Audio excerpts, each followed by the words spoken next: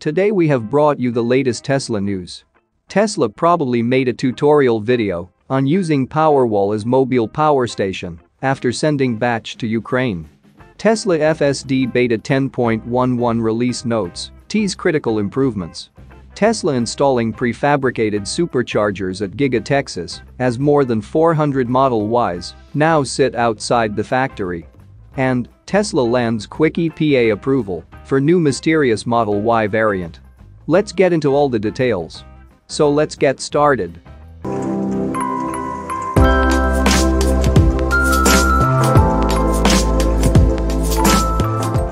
Tesla probably created a tutorial video on how to set up and use the Powerwall as a mobile power station.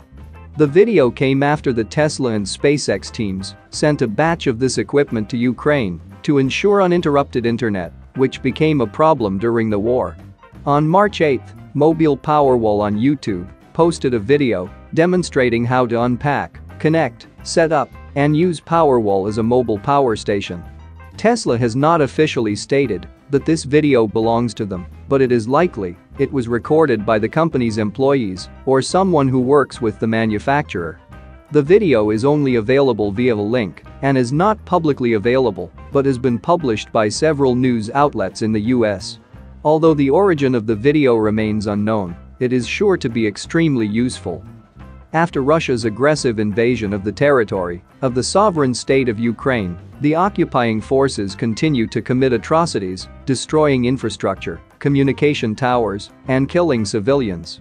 The whole world has united to support the Ukrainians and help them survive. Elon Musk's companies, Tesla and SpaceX, continue to provide as much assistance as possible. They have taken a number of measures, including the supply of SpaceX Starlink, Powerwall, and probably solar panels that will power them if there is no access to electricity. The video shows how you can deploy a mobile power station in minutes without actually taking the equipment out of the box. To do this, you need to get the cables and connect them together in the appropriate order. The video also demonstrates how solar panels can be easily connected to the power wall, which will charge the battery so you can get an independent power source, even in the field. In a previously published internal email, Tesla wrote the following. Tesla teamed up with SpaceX to provide coverage expansion for its Starlink services to help provide an alternative internet infrastructure.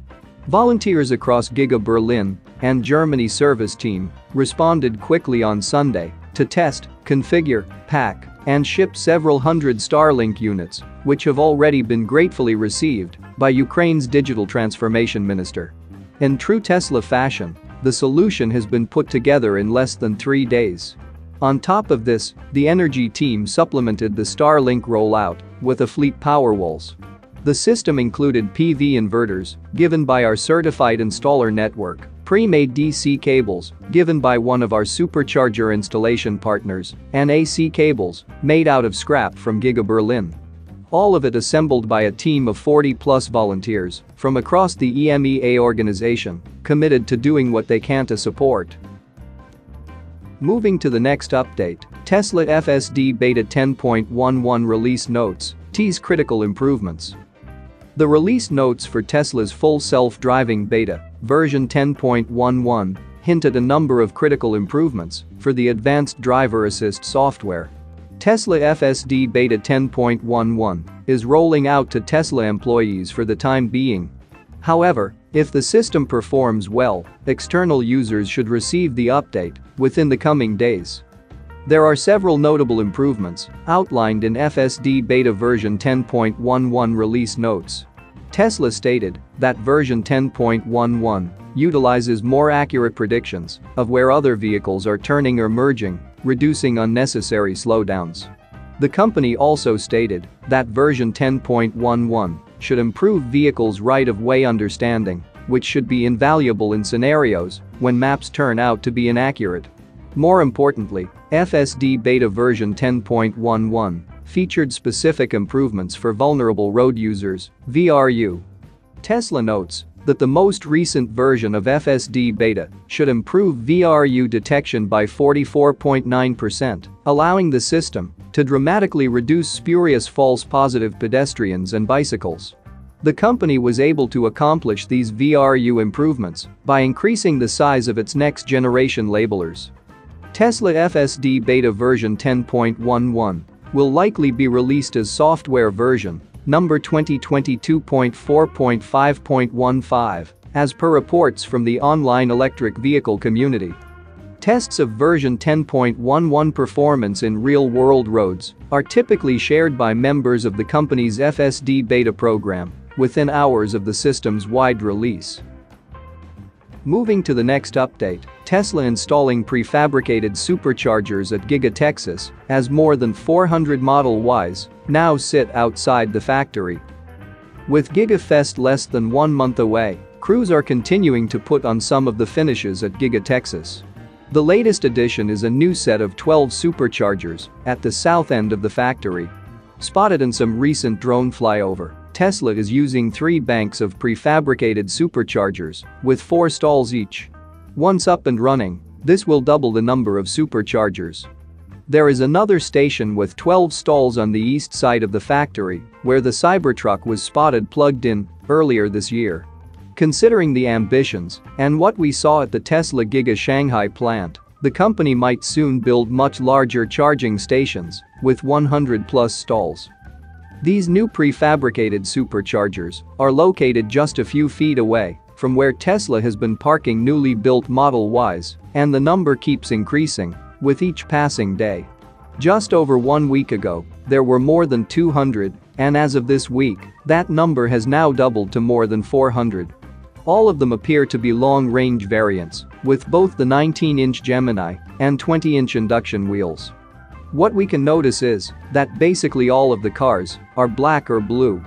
Tesla has already announced that the first cars delivered from Giga Texas will feature structural battery packs and 4680 cells. What they haven't announced yet is how they will differ, if at all, in terms of range and performance compared to the existing 2170 cells. Moving to the last update, Tesla lands quick EPA approval for new mysterious Model Y variant. Tesla has evidently landed an EPA approval for a new variant of the Model Y all-electric crossover. A new 279-mile version of Tesla's most popular vehicle appeared on the EPA's fuel economy website recently, confirming the vehicle has been tested by the agency.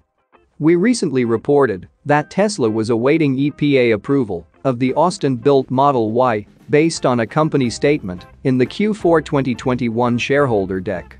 We reported that Tesla had received approval for previous Model Y variants, but not the new configuration that was set to be built at Gigafactory Texas.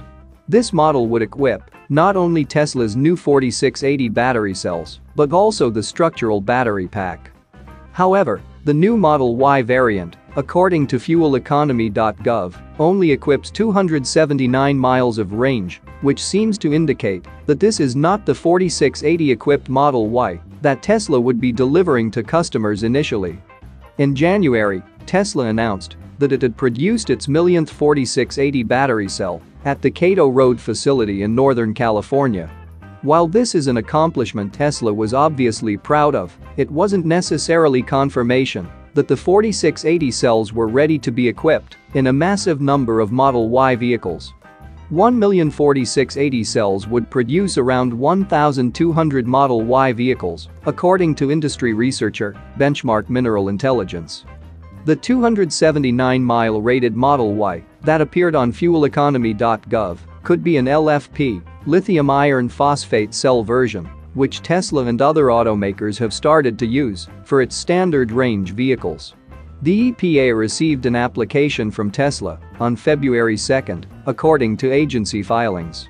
The EPA then granted a certificate of conformity for this application on February 16, which could be an indication that Tesla has received approval to begin delivering this new, mysterious 279-mile Model Y variant. Interestingly, Tesla has also applied for another EPA certification of a Model Y variant the application was submitted on February 23 but has not received a certificate of conformity, which would allow the car to enter the stream of commerce from the EPA as of March 13. As of now, Tesla does not have a 279-mile variant of the Model Y listed on its design studio.